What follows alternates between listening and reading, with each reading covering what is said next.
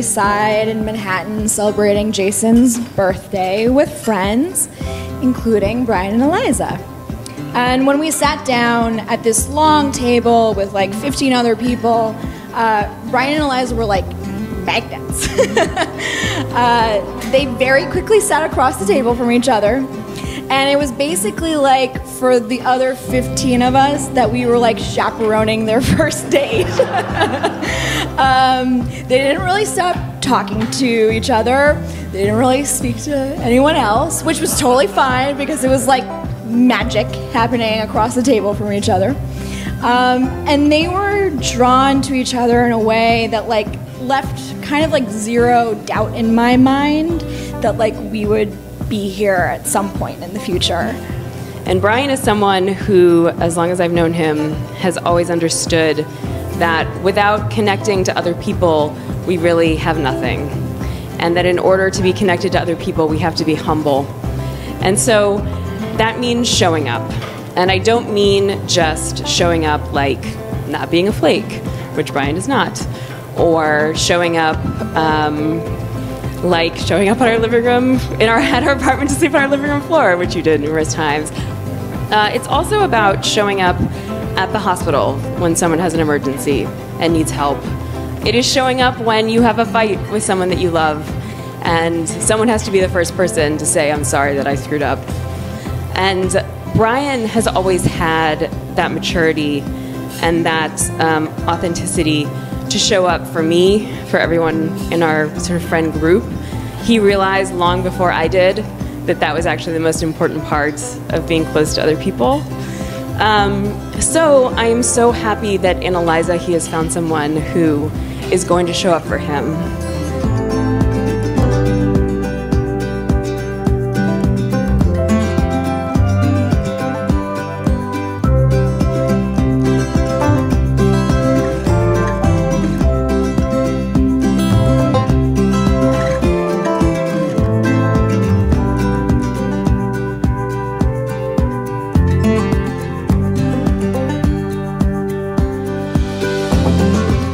Of the things we all want in life is for our friends to find someone who makes them truly happy. Someone who loves the things that they love and who helps them find new things to love as well. When I finally got up to New York City to spend a weekend with Eliza and Brian, I already knew I would love him because he made Eliza so very happy. We spent a glorious day at the Whitney, seeing the art, and then asking Eliza to explain all of it to us. Seeing Brian care about the things Eliza cares about, watching someone love my friend as hard as I love her. These are the things I know we all love about seeing Eliza and Brian together. You're going to love this family. We've embraced you. You see what our Passovers are like. And uh, we're looking forward to tomorrow night.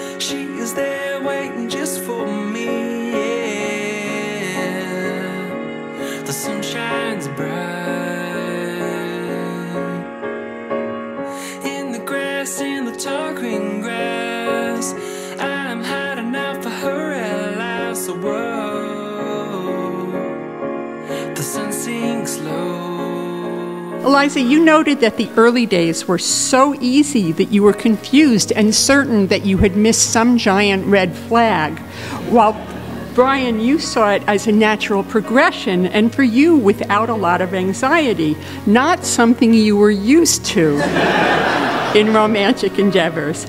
It just felt obvious. Of course. A little over a month after you met was Brian's Super Bowl party, which just as naturally Eliza ended up co hosting. And that pretty much sealed things.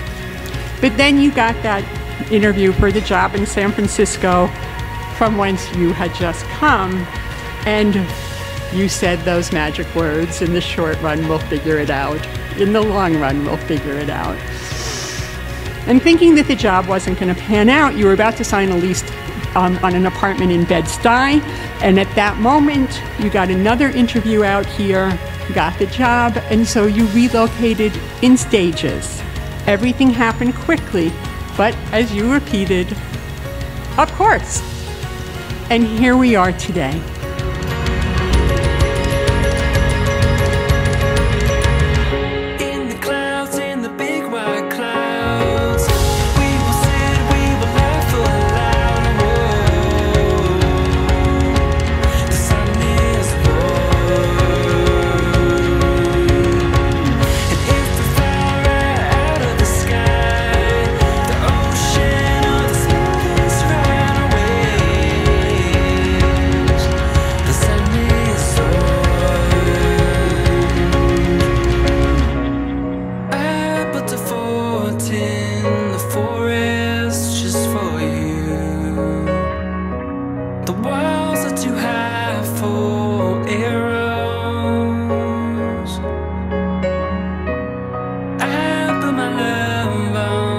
Strongest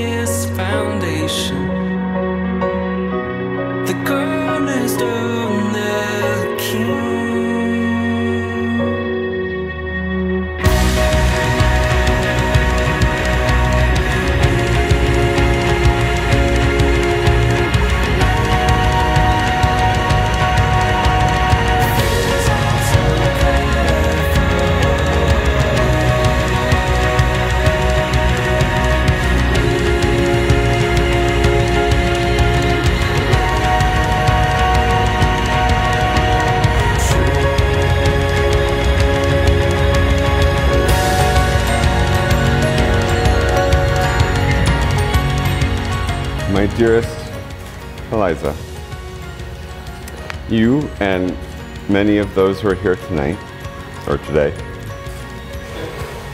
can attest that I am not someone who very frequently says, uh, words cannot express.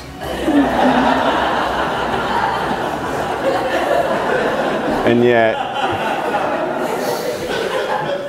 and yet, standing here, I at least feel that words alone cannot express my joy, my gratitude, my pride, and my comfort.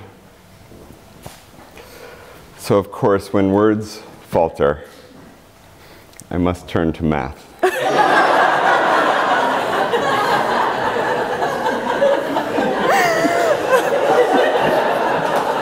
Bear with me. There are an infinite number of integers.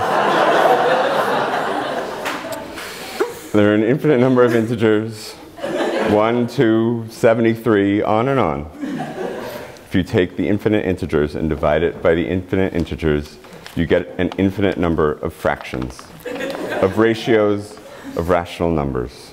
One third, one fourth, 77, 80 thirds. But then there are the irrational numbers.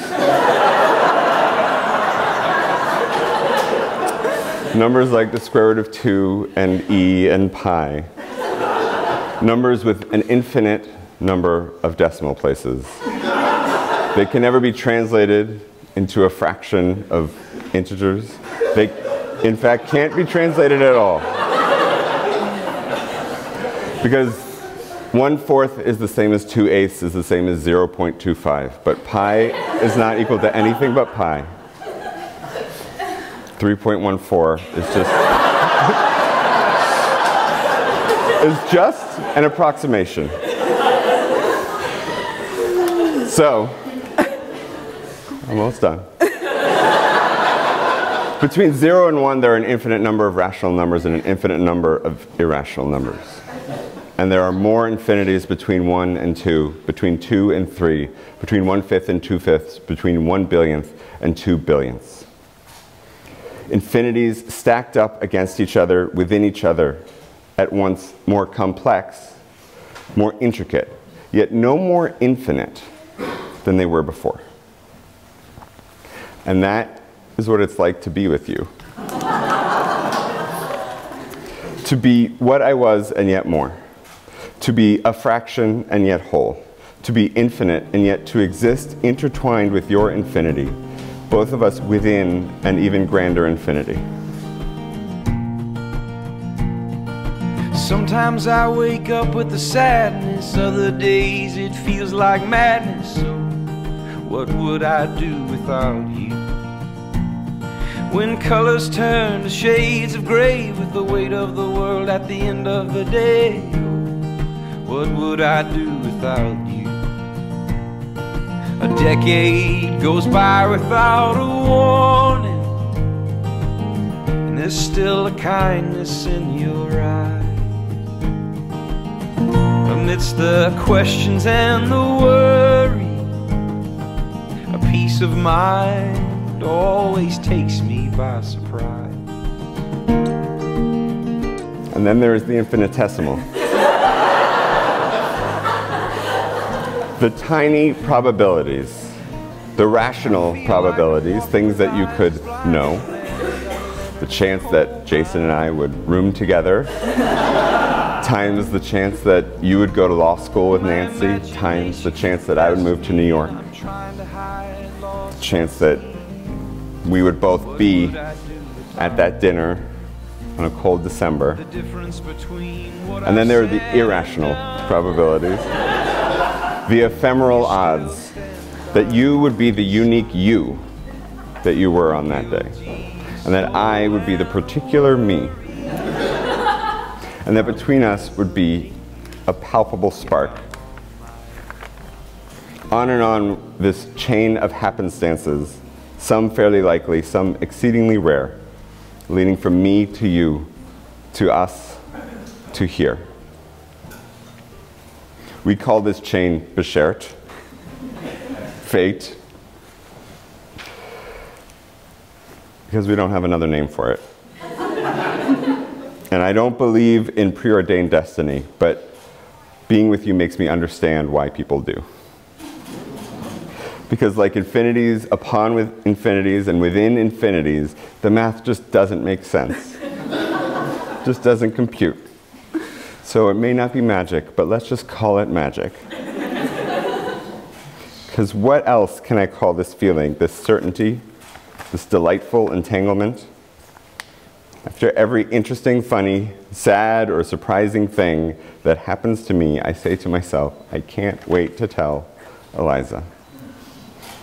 I can't wait to see you smile, to feel your soothing hand on my shoulder, to hear you laugh.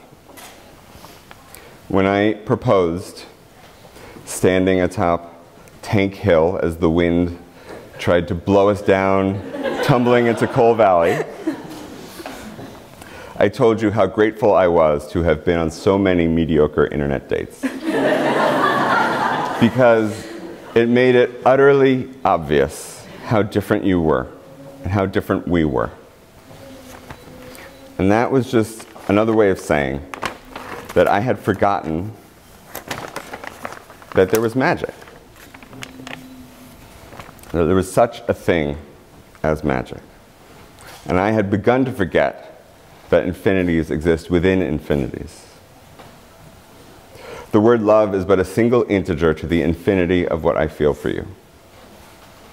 You make me feel like myself. You make me feel like I deserve you. You make me feel calm amid chaos. You make me feel certain amid uncertainty. You make me feel loved even in those moments when I've forgotten how to love myself. Behind us is our ketubah, the contract we drafted together, the obligations and intentions we have signed our names to. And to all those promises, I will add these. I will remember the math of the infinite and the infinitesimal. I will appreciate how lucky I am and we are. I will always be in awe of how complex and boundless you are and we are. I will never stop being stunned by how ineffably, amazingly surprising it is to have met you, the precise you, the infinite you, and how grateful I am that you are you and that you are here.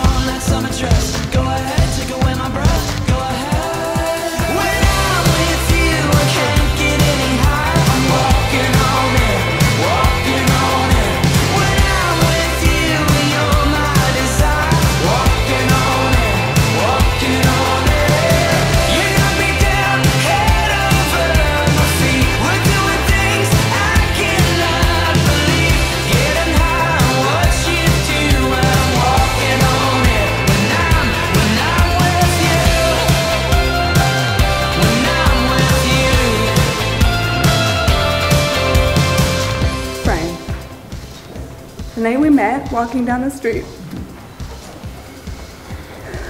bundled up to our ears in a frigid East Village, you asked me how I liked living in New York. And I said I loved it because it was the only city whose anxiety level rose to meet my own. you laughed through your scarf and your eyes scrunched up at the corners the way they do, I know now, when you're deeply, genuinely amused by something or someone. And I felt in that small, fleeting moment a little bit of the magic of what it's like to be truly seen by you. You see, I always secretly suspected that to be really lovable, I would have to be less than myself. Quieter, less opinionated, just less. But you, you don't want me to be any different. And you certainly don't want me to be any less. You remind me constantly, in small and big ways, that you're here to witness my whole real self. All the messy bits, or as the case may be, hyper organized, color coded bits. included. that in fact, that's where the magic is. You turned to me in a speeding crosstown cab once, interrupting some sort of impassioned monologue about politics or art or who knows what, and said, with those same scrunched up eyes from our first night, I like that you're a nerd even though you dress pretty.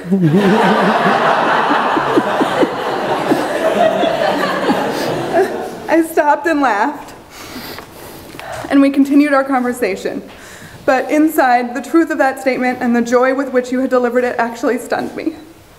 Again, I felt that flutter of magic, of being really seen and understood by you, which meant so much more now that I was starting to really know you too. Then, nine months after we first met, I anxiously asked you how you would feel about moving back to San Francisco barely a year after you had left. I braced for the impact of disappointment or disagreement, but instead you calmly said, In the short run, we'll figure it out, and in the long run, we'll figure it out.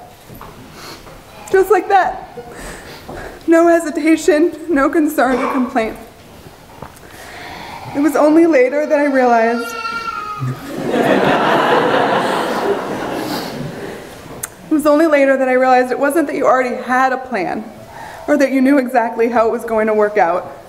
Rather, it was that you had an absolute faith in our ability together to make a plan for anything that came our way, and a clear and unshakable belief that together was now obviously the only way to be.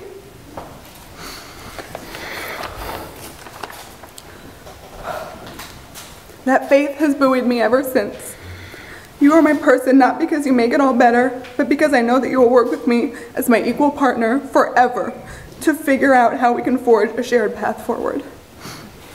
You are my greatest champion and my strongest support. You delight in my successes and you share compassionately in my disappointments. You encourage my greatest ambitions and are sensitive to my deepest fears. Your kindness continually astonishes me. It shows me how I want to be in the world, and your curiosity makes every experience brighter, more vibrant, and more alive. If the last two years have proven anything, It's that life is so much more unpredictable, holds so much more joy, and offers so much more depth than I ever had imagined. Brian, I love you with all that I am. And I'm so profoundly grateful to be starting this new part of our adventure together. You have shown me that love is not luck or fate, it's not bashert, it's not the universe, and it's not magic. As pretty as it is to think so. Love, rather, is the practice of really bothering to know somebody and allowing that person to know you. So today I promise to continue to pay attention, to listen to what you're saying and what you're not, to stay radically amazed at the mensch of a man that you are. And I promise to show you who I am, even when who I am is imperfect, because your love has convinced me that that's exactly what you want to see.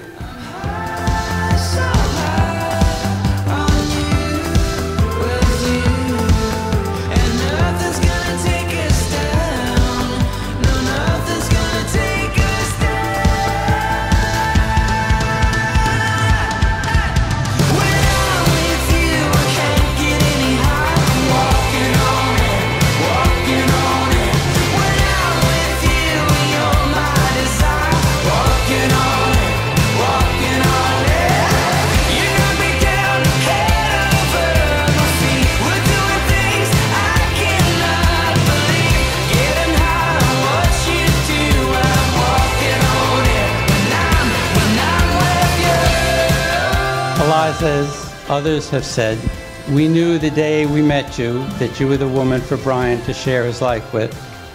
It was a plain and simple fact, like joining together two pieces of a jigsaw puzzle. Seeing each of you in, seeing you in each other's company that day, it wasn't clear which of you had a brighter gleam in your eyes, but it surely was there for each of you. You've dazzled us with your smarts and your beauty and your confidence and your curiosity and your caring heart. And all of this is in addition to the Linzer torts. More we could not have asked for. And when you visited with us in Plymouth, where we live, the home of the Plymouth Rock, uh, we wanted to yell to all, yes, you are the one that makes Brian a more complete and better person. When you both spent breakfast time com- completing the New York Times crossword puzzle, and I know, folks, that's completing, not just attempting, you often knew the answers before he did, and you more than held your own when there was ensuing discussion. Your being Brian's intellectual equal will bring you both a level of equality important to any fulfilling relationship. All told, we feel blessed to have you as our daughter in law. And kudos again to your parents for having made you, to raised you to the wonderful person that you are. And to our son Brian, the past year has been an enlightening experience for us. We've watched you further your connection to Eliza, your life soulmate, all that while showing the growth and maturity needed to land on your feet so successfully in your career and your move to California, where you've been able to establish an enriching life with old and new friends. We could not be more proud.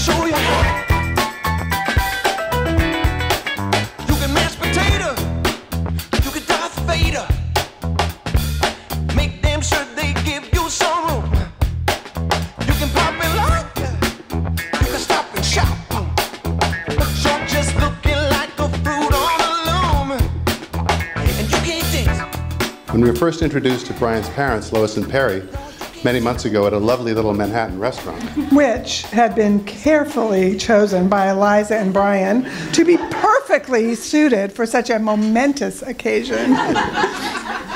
We could instantly see how warmly Eliza was being welcomed into the Carfunkel family. We could tell that night that all of us shared the same feeling about this match. It seemed so right. Lois and Perry, it's clear that you have raised a man that has an abundance of wonderful qualities.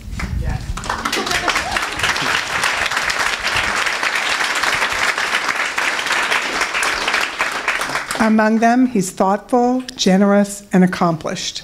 He's a good man. We know how proud you are, of Brian, and you should be. It has been delightful getting to know you both, and we look forward to deepening the relationship between our families. It's also been remarkable to, to find how easily Brian has become a member of our family. He's already been part of many family events, and we're pleased that he wasn't scared away even we, when we asked him to double buckle. After being thoroughly vetted by family and friends, we are happy to report that he has passed all tests, frisbee throwing included. So when, when Eliza first described Brian to us, we knew instantly that she had found someone to share her life with that challenged and appreciated her. The fact that he cherishes and loves our daughter is abundantly clear. We are beyond thrilled that Brian is now an official member of our family, with all the duties and responsibilities that that entails. One thinks of all that you might be teaching your children, but Eliza has always taught us so much more. She's taught us about the value of persistence, about bravery, and about always rising to the challenge. We have learned about the unabashed joy of parenting such an amazing human being and continue to be awed by her inner strength, her insights, and the care and the love that she shows her family and friends. You would think that after 37 years of marriage, we would have some words of wisdom to impart. What we can say is take the good with the bad. The rough, the rough with the smooth, the ups with the downs. and always remember the love that you feel for each other today. and now, please raise your glass as we offer this toast. May you both be favored with the future of your choice. And may you live to see a thousand reasons to rejoice. Mazel tov!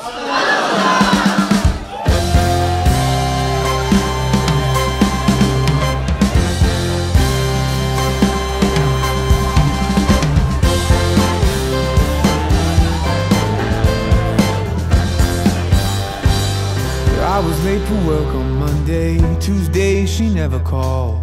Wednesday, I'm here. I work my fingers to the bone. Thursday, worries all around me.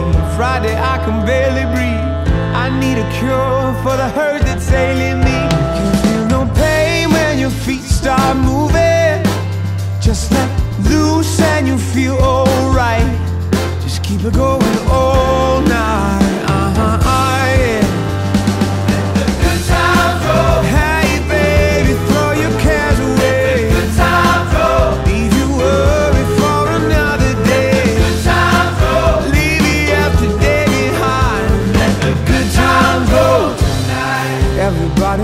their troubles. Everybody's been alone. There's nobody here that could make it on their own. When your worries all around you got you bad and you can't sleep. Listen, baby, and I tell you what you need. Cause you no pain when your feet start moving.